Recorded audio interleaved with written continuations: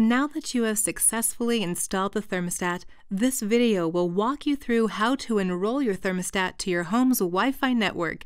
If you haven't already installed the thermostat on your wall, watch the video on WiFiThermostat.com called Honeywell Wi-Fi Smart Thermostat Wiring and Installation.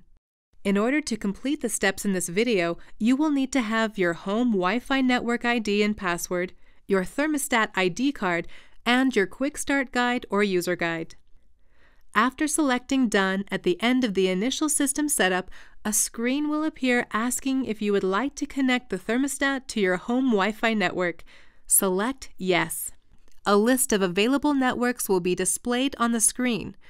Or, if you are connecting to a Wi-Fi network at any other time than the initial system setup, select Menu from the home screen, scroll down the options and select Wi-Fi Setup. A list of available networks will be displayed on the screen.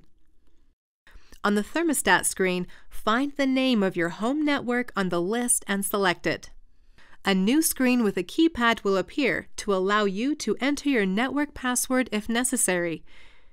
If required, enter your home's Wi-Fi network password and press Done. With a successful connection to the network, you will be instructed to create an account and register the thermostat at mytotalconnectcomfort.com.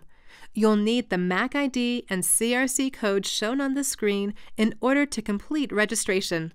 These items can also be found on the thermostat ID card that came with the product. Please leave the thermostat on the screen until registration is complete as a reference. Now that you've successfully connected to your Wi-Fi network, you need to register online for remote access. Please watch the video on wifithermostat.com slash installation videos called Wi-Fi Smart Thermostat Remote Access Registration.